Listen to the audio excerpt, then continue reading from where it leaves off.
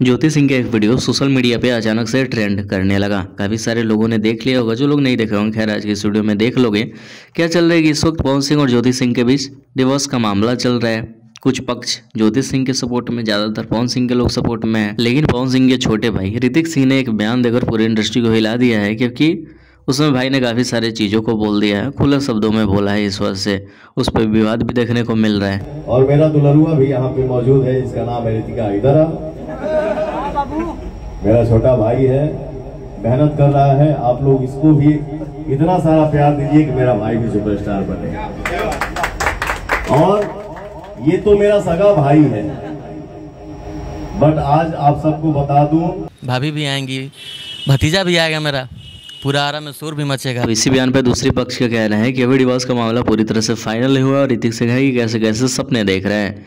बाकी ये विवाद इतना जल्दी खत्म नहीं होने वाला है जो भी पवन सिंह का मैटर है, ये भी इतना जल्दी खत्म नहीं होने वाला है क्योंकि लंबा चलेगा। ज्योति सिंह के पिताजी ने खुलासा किया है। खैर, शेयर करो, मिलते हैं नए वीडियो